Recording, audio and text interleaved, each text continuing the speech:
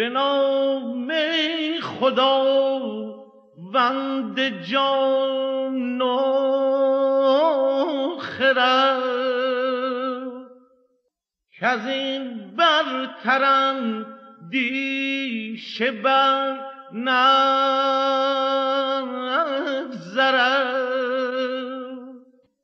خداوند نام و خداوند جا. خداوند روزی ده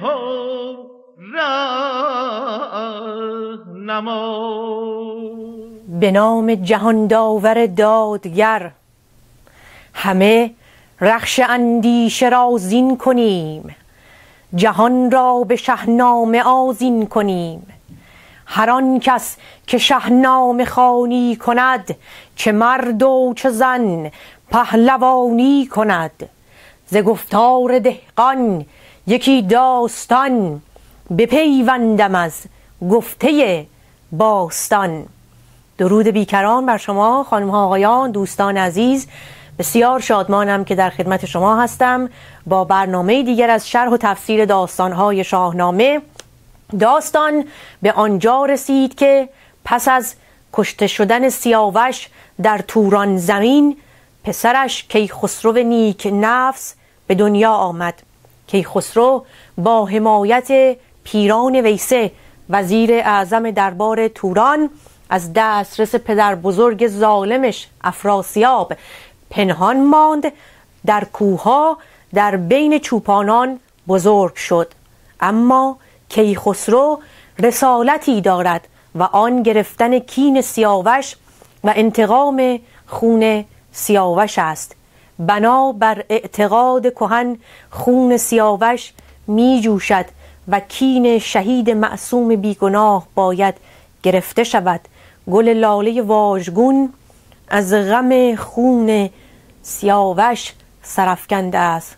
سرو راست قامت از ماتم این شهید غریب خمیده. خون مظلوم می جوشد تا دور ظالم به سر آید. از خون جوانان وطن لاله دمیده. از ماتم سرو قدشان سرو خمیده. در سایه گل بلبل از این غصه خزیده گل نیز چو من در غمشان جامه دریده. چه کج رفتاری ای چرخ؟ چه بد کرداری ای چرخ؟ سر کین داری ای چرخ؟ نه دین داری نه آیین داری ای چرخ؟ نه دین داری نه آیین داری ای چرخ. از خون جوانان وطن لاله جانم لاله خدا لاله جانم لاله دمیده.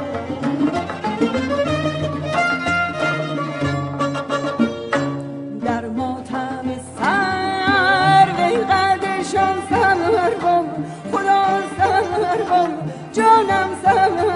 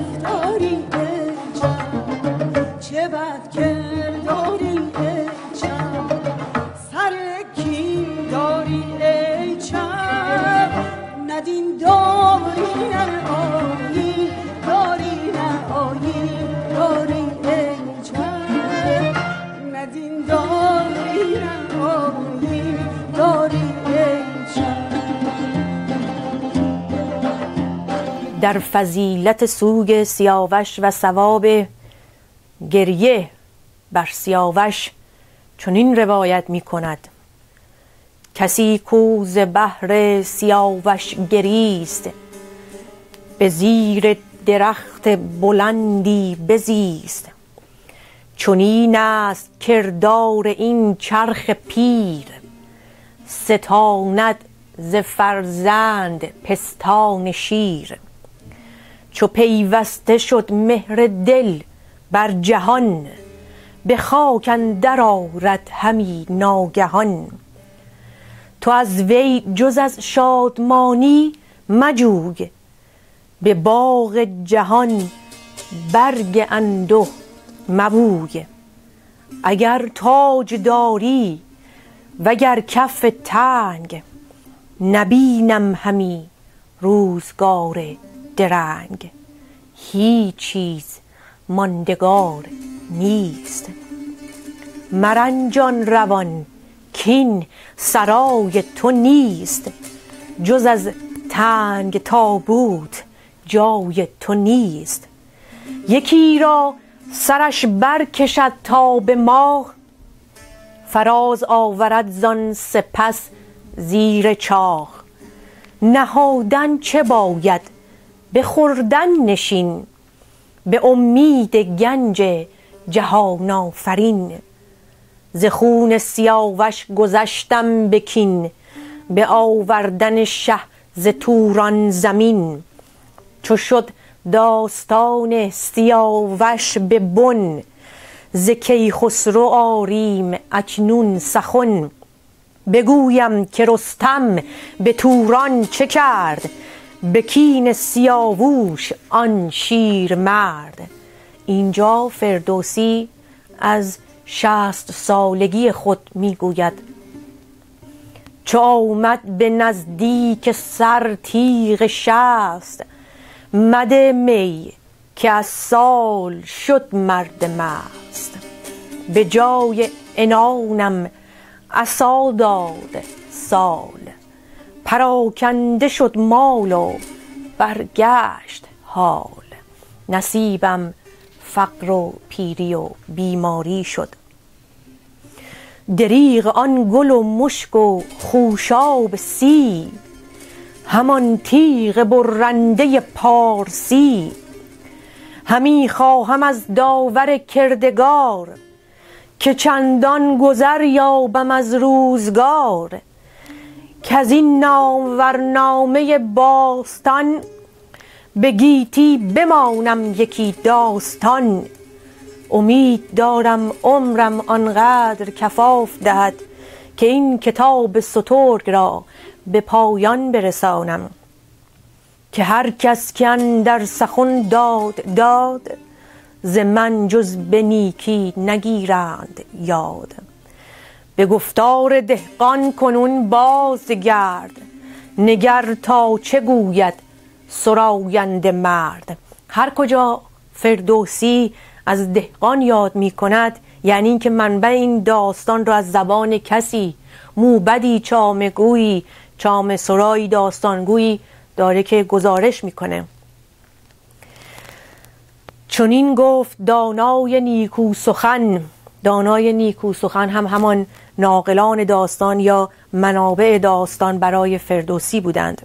چنین گفت دانای نیکو سخن ز گفتار پیشینیان کهن چو آگاهی آمد به کاووس شاه که شد روزگار سیاوش سیاه به کردار مرغان سرش را ز تن جدا کرد سالار آن انجمن. وقتی خبر به پدر کیکاووس شاه رسید که در توران پسر بیگناهش را مثل مرغ سر کندن چنان که در و دشت و کوسار و دد و دام به ناله درآمد. توران زمین پرداغ شد.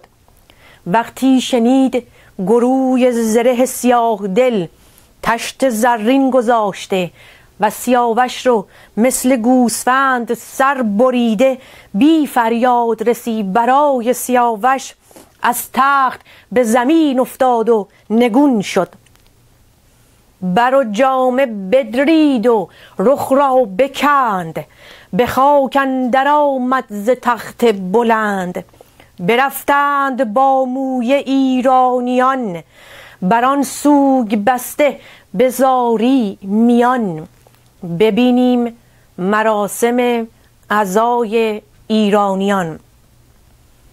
دیده پرخون رنگ زرد. صدای سیاوش غریب سیاوش مظلوم بلند. توس گودرز گیو شاپور بهرام فرهاد جامعه سیاه و کبود به تن کردند کلاه از سر انداختند خاک به سر کردند کاووس تاجش رو برداشت بر زمین کوبید لباس شاهی بر تن پاره کرد خبر رسید به زابلستان رستم با شنیدن خبر از هوش رفت. خروش گریه و زاری از زابلستان بلند. زال زر با ناخن رخ خراشید خاک بر سر و تن ریخت. یک هفته به عزاداری و شوربختی روز هشتم شیپور لشکر کشی زده شد. رسیدند به پایتخت. رستم جامعه پهلوی بر تن درید. گفت سوگند به دادار سوگند که هرگز تنم بی سلاح جنگ نباشد. هرگز از خاک رخ نشویم تا از این سوگ فارغ نشوم. سپه سر به سر بر در پیلتن ز کشمیر و کاول شدند انجمن. آمدند سمت کاخ کاووس شاه.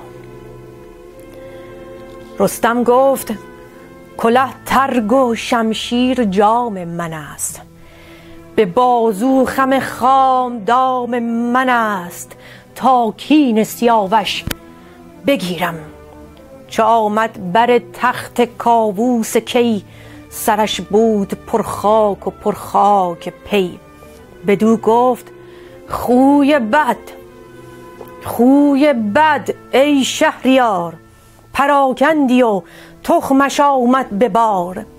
تو را مهر سوداوه و بدخوی ز سر برگرفت افسر خسروی. ز شاهان کسی چون سیاوش نبود چون او راد و آزاد و خاموش نبود. دریغ آن بر و بازو و یال اوی دریغ آن بر و چنگ و کوپال اوی. کنون من بر این کینه تا زنده ام. دل و جان به آتش بیاگنده ام. همه جنگ با چشم گریان کنم. جهان چون دل خیش بریان کنم.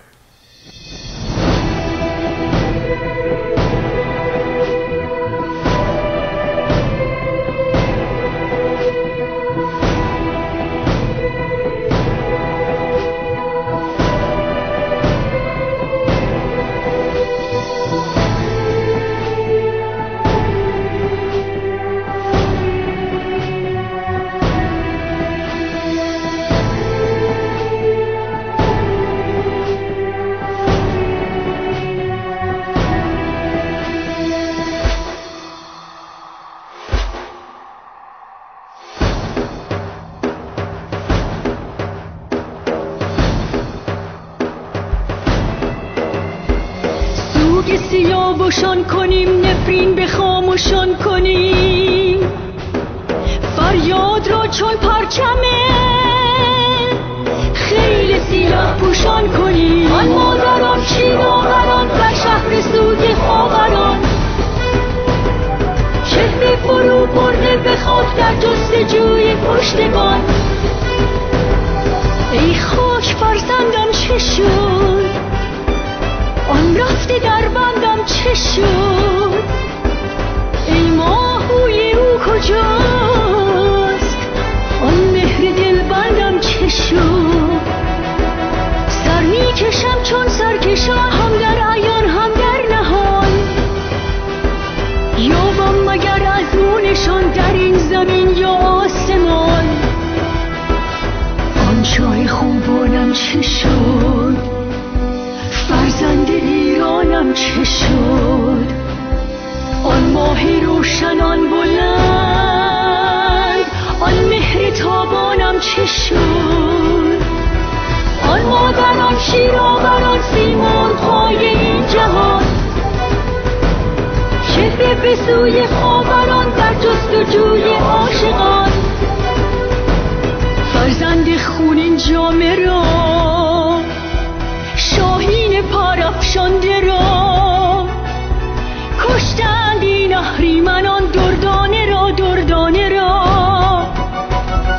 سوگ سیاوشان کنم نفرین به خاموشان کنم فریاد را چون پرچمه خیلی سیاه پوشان کنم ای خیلی خونین جامگان ای پرورنده عاشقان سوگ سیاوشان کنیم نفرین به خاموشان کنیم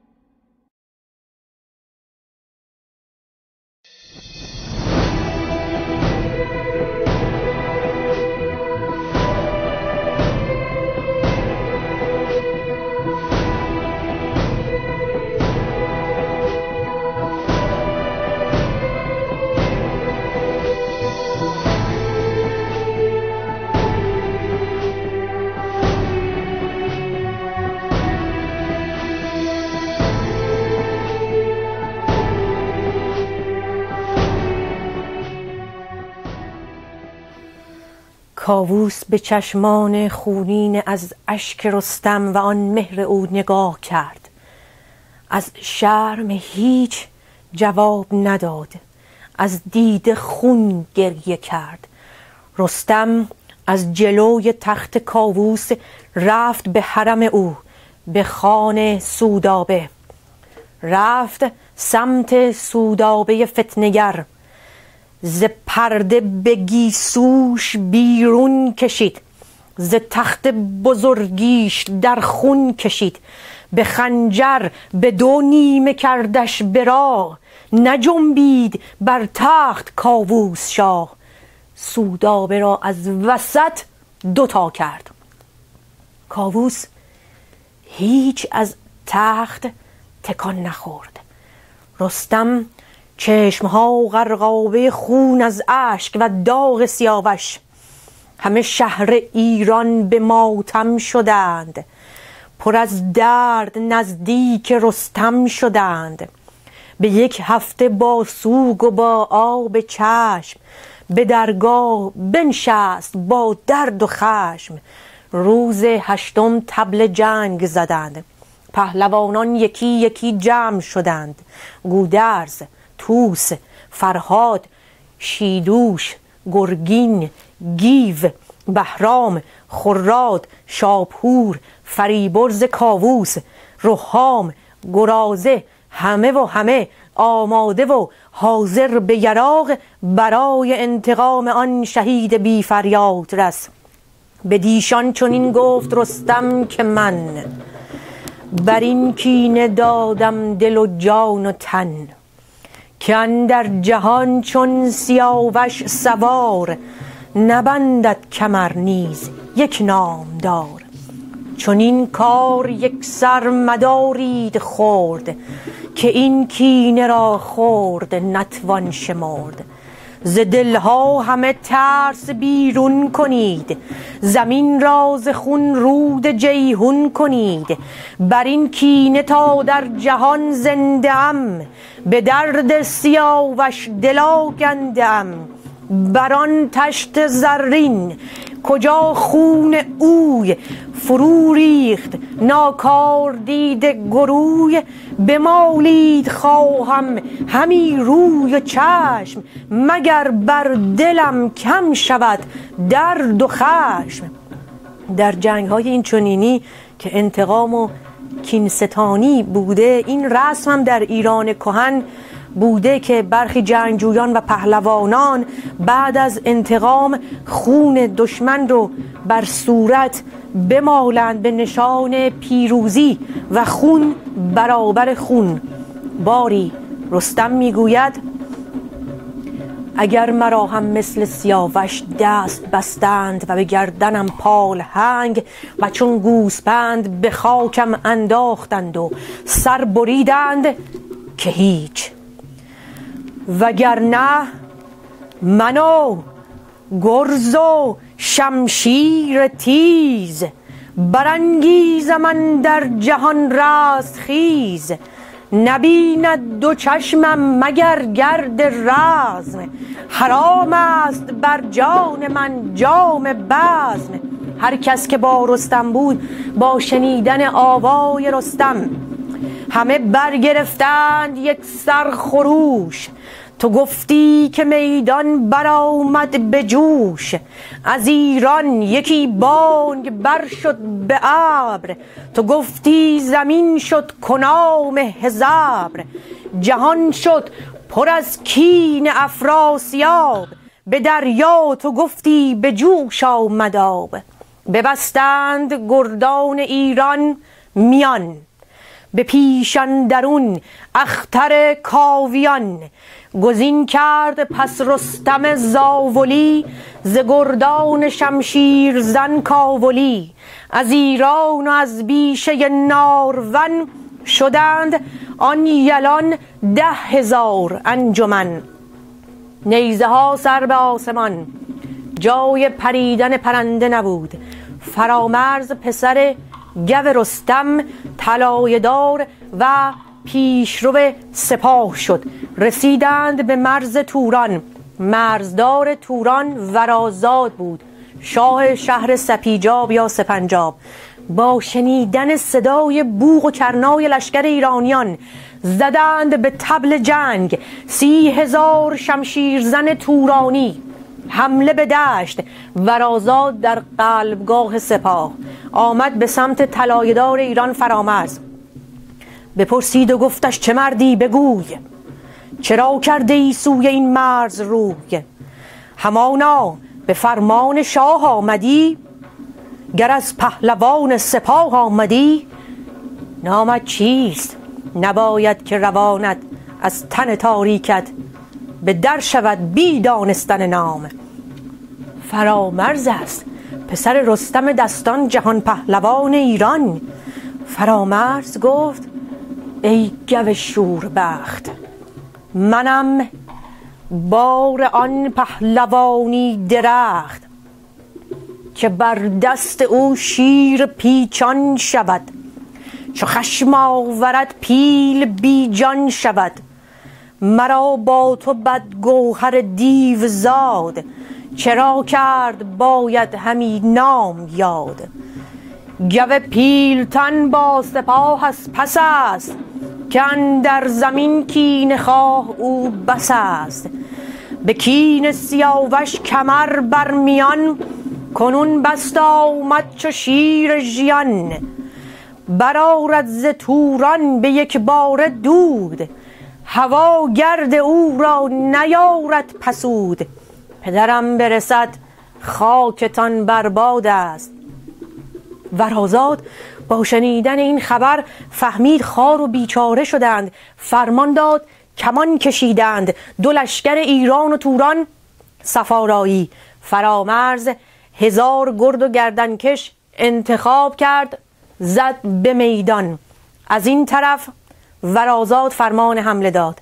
اما در دل گفت امروز روز تاوان ماست که این روز پادفره ایزدی است.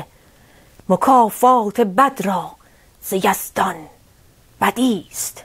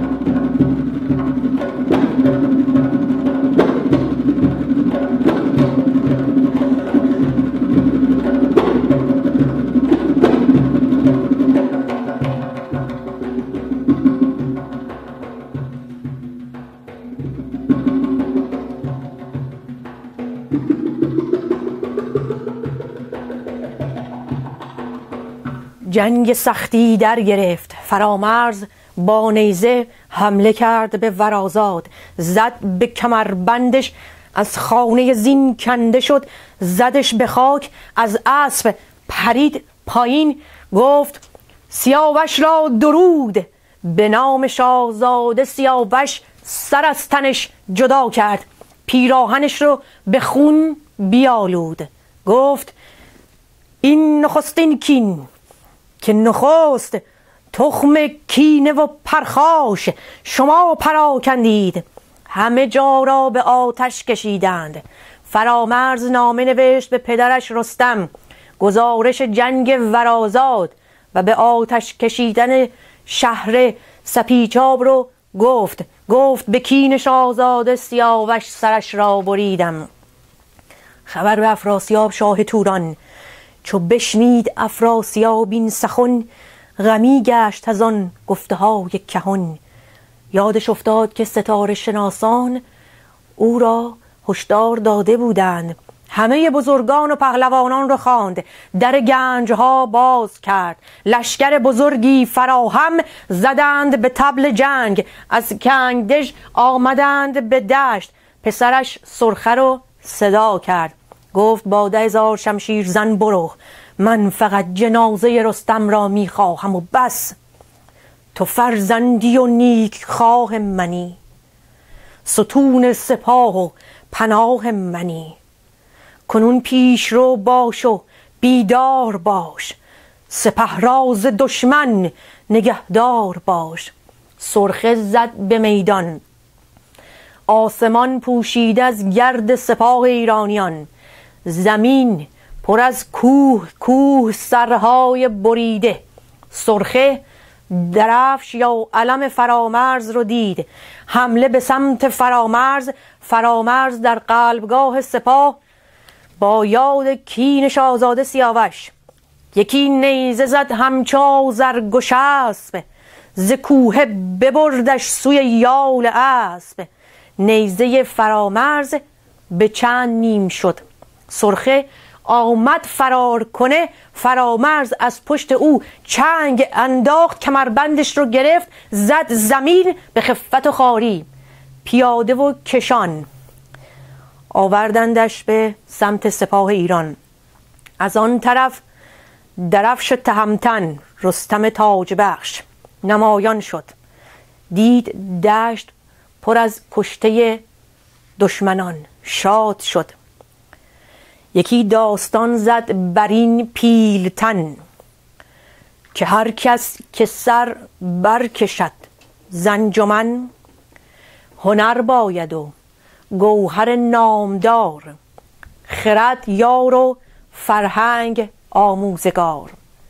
چون این چار گوهر به جای آورد دلاور شود پر و پای آورد. چون آتش افروخته شود هرچه پیش آید می سوزاند امروز سرکشی فرامرز را شگفت نیست که دلش پر از آتش است. چون آورد با سنگ خارا کند ز دل راز خیش آشکارا کند. رستم نگاه کرد به سرخه پسر افراسیاب. دید جوان است و سیه موی گفت این را ببریدش. ببریدش به دشت با خنجر و جلاد و تشت. فرمود ببندند دستش به خم کمند بخوابند بر خاک چون گوس پند. به سان سیاوش سرش را ز تن ببرند و کرکس بپوشد کفن. ببینیم کشتار بی پایان. جوان کشی ها خون است که می جوشد. شرح این هجران و این خون جگر. این زمان بگذار تا وقت دگر.